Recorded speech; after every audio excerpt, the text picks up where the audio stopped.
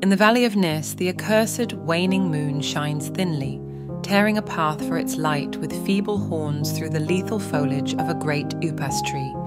And within the depths of the valley, where the light reaches not, move forms not meet to be beheld. Rank is the herbage on each slope, where evil vines and creeping plants crawl amidst the stones of ruined palaces, twining tightly about broken columns and strange monoliths, and heaving up marble pavements laid by forgotten hands. And in trees that grow gigantic in crumbling courtyards, leap little apes, while in and out of deep treasure vaults writhe poison serpents and scaly things without a name.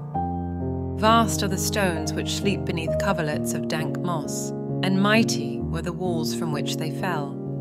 For all time did their builders erect them, and in sooth they yet serve nobly. For beneath them the grey toad makes his habitation. At the very bottom of the valley lies the river Than, whose waters are slimy and filled with weeds. From hidden springs it rises, and to subterranean grottos it flows, so that the demon of the valley knows not why its waters are red, nor whither they are bound. The genie that haunts the moonbeams spake to the demon of the valley, saying, I am old and forget much. Tell me the deeds and aspect and name of them who built these things of stone. And the daemon replied, I am memory and am wise in lore of the past, but I too am old. These beings were like the waters of the river, Than, not to be understood.